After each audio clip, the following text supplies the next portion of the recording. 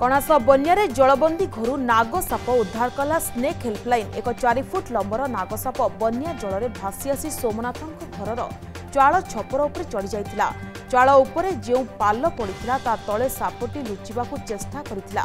ହେଲେ ପାଲକୁ ସୋମନାଥଙ୍କ ପରିବାର ଲୋକେ ବାଡ଼ିଆ ବାଡ଼ି କରି ଫଳରେ ତାଳରୁ ଖସି ପଡ଼ିଥିଲା ସାପ। ସାପକୁ ବାହାର କରି ନପାରି ସୋମନାଥଙ୍କ ପରିବାର ସ୍ନେକ୍ ହେଲ୍ପଲାଇନ୍ର ସହାୟତା ଲୋଡ଼ିଥିଲେ।